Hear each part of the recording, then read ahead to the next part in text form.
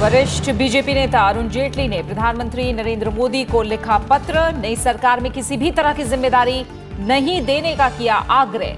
स्वास्थ्य कारणों का दिया हवाला।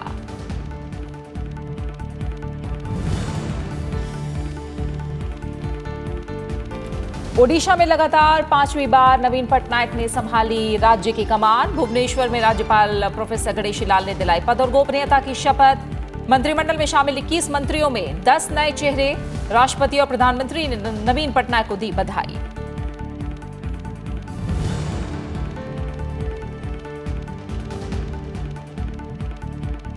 अरुणाचल प्रदेश में बीजेपी नेता पेमा खांडू ने दूसरी बार संभाला मुख्यमंत्री का पदभार।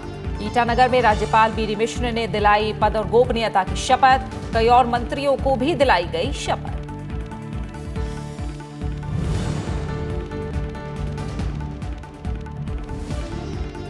प्रवर्तन निदेशालय की बड़ी कार्रवाई, हरियाणा में एसोसिएटेड जर्नल्स लिमिटेड की करीब पैंसठ करोड़ रुपए की संपत्ति को किया जब्त। लंदन की प्रॉपर्टी के मामले में रॉबर्ट वाद्रा पर कसा शिकंजा। ईडी ने फिर पूछताछ के लिए किया तलब।